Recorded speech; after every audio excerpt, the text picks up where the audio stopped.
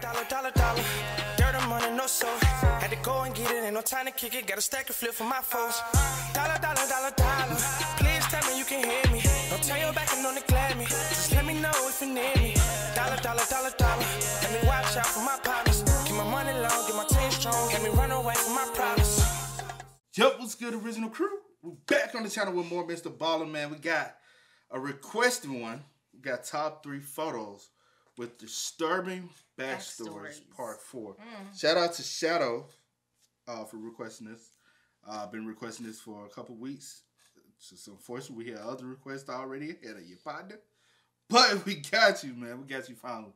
Um, I like the top. I like the three. The, The three and one. three, the three and one, yeah. Yeah, I like those when we get three stories, man. So, with that being said, we ain't gonna hold y'all. We gonna get into it, but before we do, as always, make sure you check out the links in the description box. Down below, You already know where to go, man. You want to first part? All you gotta do is check out down below. Also, if you enjoyed today's video, what? lock it in with a thumbs up. hmm That's Mhm, right. Do that. We like those. We like to see when y'all make the uh, the button blue, right? Or did they change it to green? Y'all double check that for me. Double check them for me. Go ahead, click that button. Click that thumbs up. See what color it's. And then comment in the comment section down below. Fuck with the algorithm. help us help you. Help me. Help, Help me. me. All With that being said, let's go ahead and get into it. Let's check it out. Let's see what's about. You ready? I'm ready. All right, let's go. Today, I'm going to share with you three progressively more disturbing stories, and at the end of each of them, I'm going to share with you the picture that is famously associated with them. But before I get into today's stories, if you're a fan of the strange, dark, and mysterious delivered in story format, then you've come to the right channel, because that's all I do and I upload three, four, even five times every week. So if that's of interest to you, please tar and feather the like button and then subscribe to this channel and turn on all notifications so you don't miss any of my weekly uploads. All right, let's get into today's stories.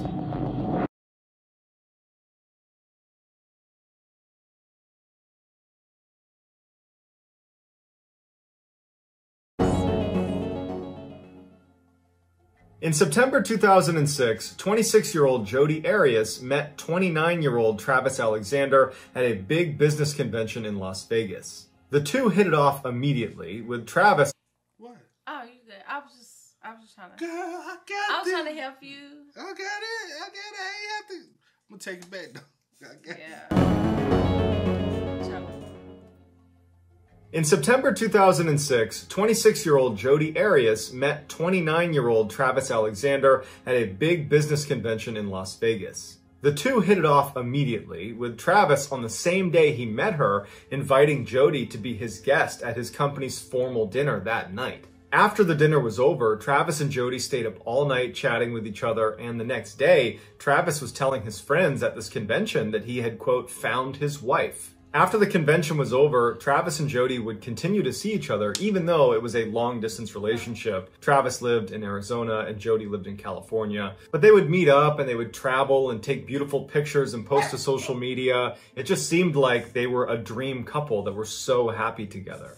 While the couple's social media posts might have made it seem like they were this perfect couple, Travis's friends began to notice some very strange behavior by Jodi early on in their relationship. Jodi just seemed totally obsessed with Travis. She could not keep her hands off of him. Travis would be talking to his friends and Jodi would come up beside him and literally grab onto him and cling to him.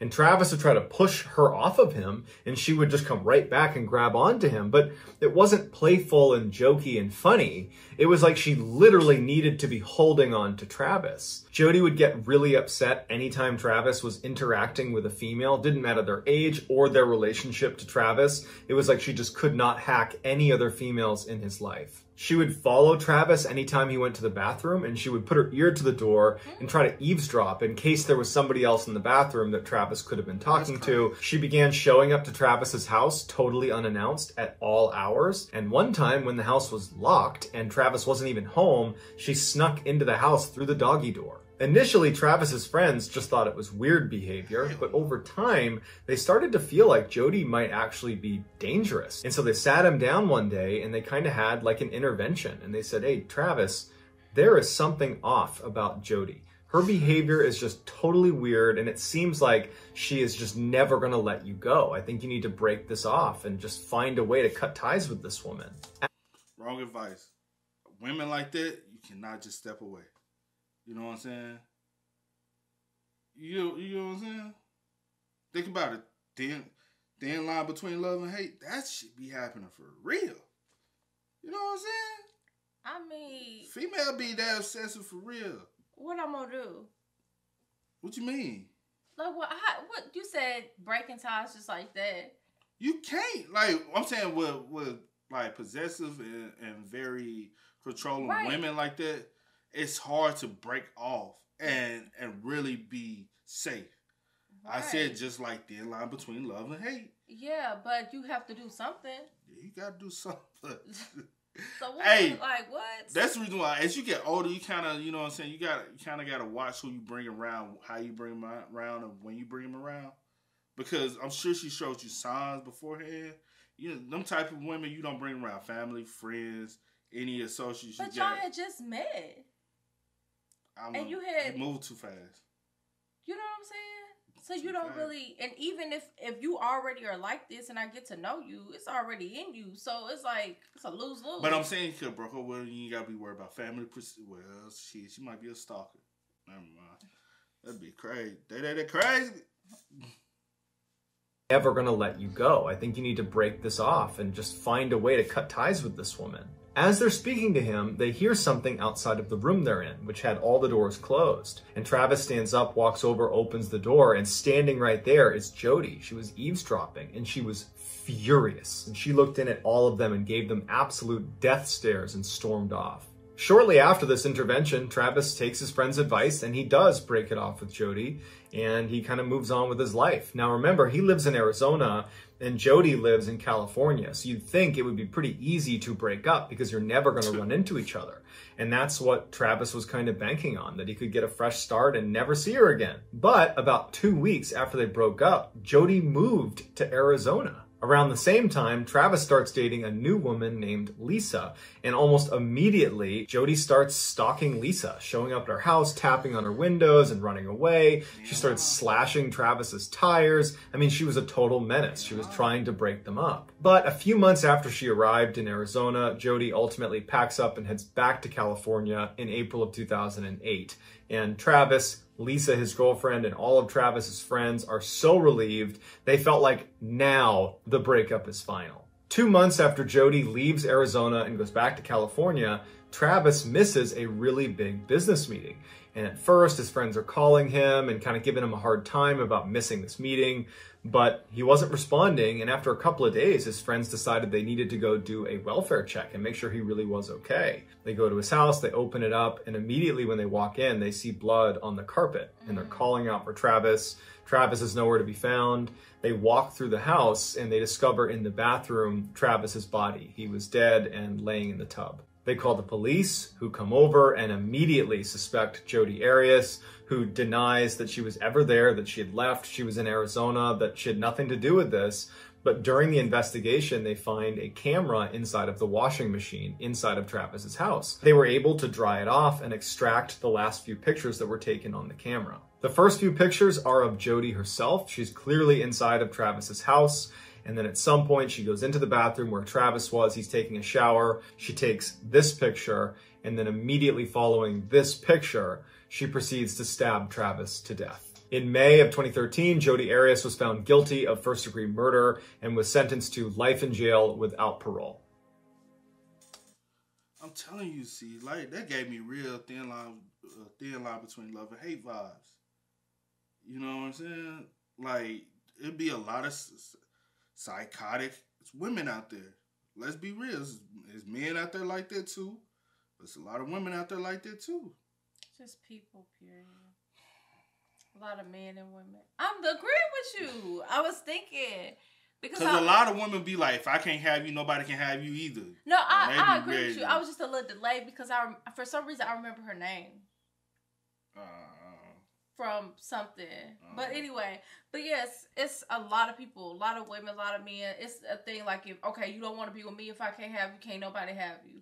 And that's the thing. And I'm It ain't- surprised she didn't try to hurt the uh, other girlfriend. Maybe she would have if she was there. She was there. Was she? Oh, you talking about actually in the I'm house? in the house. Oh, oh the no, I'm saying even I'm saying even like at all, like physically harm. Like she did stuff, but I'm saying like literally, like you killed him. You, I'm surprised she did, didn't. like- she didn't go after killing him. Well, I guess she would have killed her before killing him. Yeah. Now sh- she literally is like, if I can't have you, nobody can because you're gonna be dead. Like, what the fuck be wrong? with, Like, folks, bruh. That's crazy. You know how many people you you could have found It's any never that serious. anybody else in the world probably would have dealt with your crazy ass. It's never that serious. You know what I'm saying? It's a man that would have the way same way you obsessed about about uh Travis. It's another man would have been there obsessed about you. There's Y'all people out there obsessed with each other, honey. With y'all crazy asses. Cause what? Like you leave, let that man be, man. You could let that man go. Do him. I just I hate it. Yeah. You know what I'm saying? Because shit like that happens a lot in relationships. You know Facts. what I'm saying? Like people fail to realize when you get when you decide it's when you decide to be with someone Mm-hmm. Like you you decide whatever comes with after this. And maybe it's maybe he shouldn't call her or say hey i found my wife. You know what i'm saying? Because she she already ear hustling about everything else.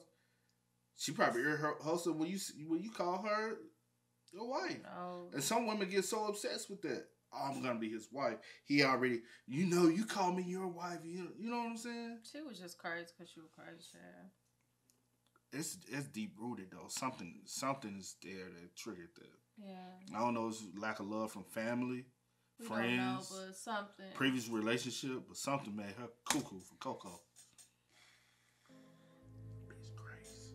By September of 1985, the Nevado del Ruiz volcano in Colombia was starting to show signs of significant activity. The tremors had become so powerful that the citizens of a nearby town called Armero, that was home to 31,000 people, they started to become very concerned. You know, if this thing were to go off, we're only 30 miles away, we'd be leveled. And unfortunately, just a couple of months later, on November 13th, 1985, the volcano would erupt, and it would create a massive mudslide that would just devastate Armero. The mudflow covered 85% of this town in heavy, thick sludge. It destroyed buildings and bridges, and it killed 25,000 people. Remember, there's only 31,000 people in this village to begin with, so 80% of the population has been killed by this mudslide. Because of how big of a disaster this was, it took a while for the rescue efforts to mobilize, and so anybody that was on the fringe of being saved unfortunately perished because no one was there to rescue them in time. And then when rescue crews did get out and did start helping people, there just wasn't enough. There weren't enough people to help. And so hundreds of people that could have been saved were just trapped and no one could get to them in time. Photojournalist Frank Fournier arrived in Colombia two days after this eruption with the intent to photograph the ground rescue that was going on inside of Armero. When he actually arrived in Armero, he was really shocked to see just how completely destroyed this town was and how totally ineffective the rescue efforts were. It was just totally chaotic. It wasn't really clear who was helping who. There were people literally dying all over the place. It just seemed crazy that this was not being handled better. Amid this chaos, a farmer approached Frank and told him he needed to come over and try to help this girl who was trapped under a house. So he brings Frank over to this house that's been completely submerged in water and mud, and clinging to a branch is this 13 year old girl named Omayra Sanchez that's been trapped up to her neck in water. She's pinned by something in the water. They didn't know what it was, but she's been there for 60 hours. When Frank arrived, he spoke to the other rescuers that were there trying to get her out. And they said that she's been in great spirits and she's been joking about how she doesn't want to be late for school. She's just been a really positive force and we really want to get her out. But, you know, it keeps raining, so the water keeps rising and she's already up to her neck and she's just trapped. We can't get her out. Shortly after Frank arrives, Omayra went from chipper and lively and kind of making light of everything to most likely realizing that she wasn't going to get out of the water. And so she began telling the rescue workers to let her be, to let her rest and she propped herself over this branch and she just laid there, kind of allowing herself to pass away. Frank felt totally helpless. I mean, he's looking at this poor girl that's going to die unless they can get her out of the water, but no one seems to be able to do it. And it just seemed totally impossible that we can't just find a way to get her out. but it would turn out that her foot was pinned under a brick door and her aunt, who had passed away and was trapped under the rubble, had grabbed her ankle and had died that way. So it was like a death grip on her ankle. And so, not knowing what to do, Frank just did what he knew how to do, which was take pictures. And he knelt down and he took this picture of Omayra. And very shortly after this picture was taken, she would pass away. This picture would win the 1986 World Press Photo of the Year. When it was published, it was so disturbing that this poor girl was not able to be rescued that it created an international backlash on Colombia's nearly non-existent rescue efforts. That, sad. that photo is very like like hard to look at. You know what I'm saying? Like looking at the eyes, it's like all hope is lost. Mm-hmm. Like you can see, for lack of, you can kind of see the depth in her eyes. You get what I'm saying? Like you can see it on her face. Like Yeah. like this is it. Yeah. You know what I'm saying? That's the sad thing about that one photo. It's like, Like God, just to know that this is how I'm about to go out right here, like this. I hate she was trapped You know the way she was and had no like no way to wedge out. no. And then the fact that her aunt grabbed her and Yeah. like, And and damn, and perish like that. It's like impossible to even get that because you can't go down there. Like you know what I'm saying? Yep. I that's when I'd be like I, I hate it for like those type of countries that like are so far behind in like technology and things like that because they don't have those things set up and those uh protocols Yeah. set to be able to all right this we especially when you know like you have you you have a volcano Yeah. an active one at that that could possibly erupt you already have to have protocols set up to hey if anything happens this is how we need to This you know what i'm saying Yeah. but that's sad man like Oh, see, actually seeing sad. somebody even the first one is finding out that like that's his last photo Yeah. you can see the fear in his eyes because this looks like he was like like to turn fuck? around or for her to pull the curtain or to hear or he like whatever. the fuck like why are you in my my space Especially when I think that I'm i think you gone gone. Like, that But, is- yeah, that that was sad. That photo was hard to look at. Like just I just kept looking in her eyes. Like that was hard to look at. fast man because her art it was so dark Yeah. you know what i'm saying Mm.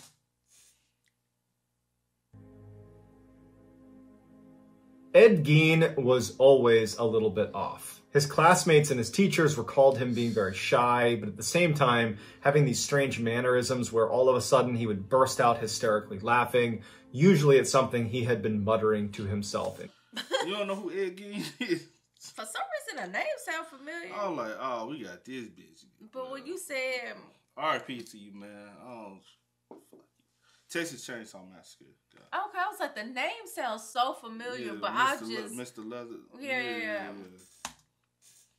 class. The school blamed Ed's mother for Ed's kind of odd behavior because Ed would admit that his mother punished him if he showed signs of having friends. So Ed's childhood was incredibly lonely and isolated. Ed's mother would confine he, along with his brother Henry, to their farm. He was basically never allowed to leave with the exception of school. And when he was at the farm, his mother would regularly read from the Bible and would tell Ed and his brother Henry that basically everybody else in the world is evil. We are the only pure ones. Everyone is evil, and you should stay away from them. In 1944, when Ed was 38 years old, he and his brother Henry were burning away some marsh vegetation on their property. And at some point, the fire got out of control, and the fire department had to be called in. And after they put out the fire, Ed was okay, but they couldn't find Henry. He was just gone. That night, Henry's body was found face down in the marsh in that same area where the burn was going on. He had died of asphyxiation. At first, the fire was blamed, but then authorities discovered that Henry had actually died before the fire started. And so all eyes turned to Ed, who was the only one with him at the time, but there was no hard evidence connecting Ed to Henry, and Ed said, I didn't do it. So Henry's death remained labeled an accident, even though basically everyone believed that Ed must have been the guy that strangled his brother to death before the fire was set. Shortly after his brother's death, Ed's mother also died, leaving Ed alone in this farmhouse. Ed began to make some modifications to the farmhouse, not to improve it or to make it bigger and better, but rather to board off all of the rooms in the house that his mother ever used. He basically made them time capsules. He didn't touch them, he just sealed them off. And so he confined himself to a single room in this farmhouse that he did not take care of. And so filth is just piling up everywhere. And so he just kind of lived in squalor in this one weird room. While living in seclusion, Ed became obsessed with cannibalism. He basically spent all his time reading about cannibalism inside of this tiny room in his boarded up farmhouse. And that's how he lived his life for the next 10 years. No one really ever saw him. Then, in November of 1957, a local hardware store owner, her name was Bernice Worden, goes missing. When police show up at the store to have a look around, they find bloodstains all over the place and they discover in the register that the last person to make a purchase inside of the store was Ed Gein. So they go to Ed Gein's house to interview him and see if he knows anything about Bernice Worden, And so they're bracing themselves for probably finding her body at Ed's house but they were not prepared for what they actually found at his house. What they find would end up inspiring movies like Silence of the Lambs, Psycho, and Texas Chainsaw Massacre. Basically, inside of Ed's house was a whole bunch of human remains, but not in the way that you would imagine. Ed was taking human body parts and making things like kitchen utensils and bowls, and he was using skin to create seats and lampshades and bedposts. I mean, his whole house was like built of human bones and flesh. Bernice Worden's body was found as well, and she was kind of hung up as if she was next up to be made into some sort of kitchen utensil or chair or table. When questioned, Ed confessed to killing Bernice Worden, but as for the dozens of other bodies that were inside of the house, he claims they were from robbing graves, but no one really knew if that was true or not, and they weren't able to ever actually convict him for anything beyond the killing of Bernice Worden. As for his motive, he told investigators that what he really wanted to do, what he intended to do, was build what he called a woman suit that would resemble his mother, and it would allow him to, quote, crawl into his mother's skin. He was deemed unfit to stand trial, and he was sent to a mental hospital where he stayed until his death in 1984. Here is just a sampling of some of the things that Ed Gein made using human body parts. What is not pictured here are things like his lampshade, his seat, as well as his gloves and his belt. If you feel so inclined, you can Google those things. All right, that's going to do it, guys. Let me know in the comments section what you thought of today's stories. Yeah, he, I already know about him. Very sick individual. Uh, I think Ballen gave like a very vague uh, backstory of him. There's other people on YouTube who have covered him and have did like more in depth uh, information about him. Mm-hmm. You can most definitely go check those out. I have already personally myself, but that's a sick ass individual. You say you have? Yeah, yeah, yeah, yeah, yeah. By egging, yeah, mm-hmm. yeah. Motherfucker, crazy, sick, mm-hmm. weird. That was very vague.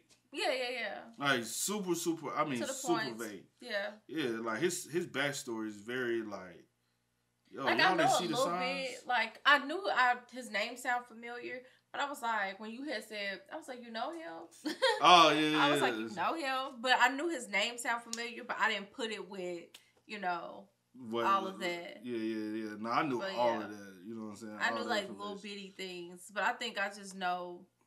I never like really like took the time to watch stuff like mm. you have. I just like kind of know things from hearing stuff or whatever. But yeah. Now it's been quite a few people who, who's covered Ed Gein's story and just like unravel the sickness of yeah. like the shit he did, like which was very like super gruesome. Just oh, no, not even like super gruesome. Just like he was obsessed with his mother type shit. Mm. And it's like, what kind of like infatuation you have with your mom, bro? Like, very weird. Very weird.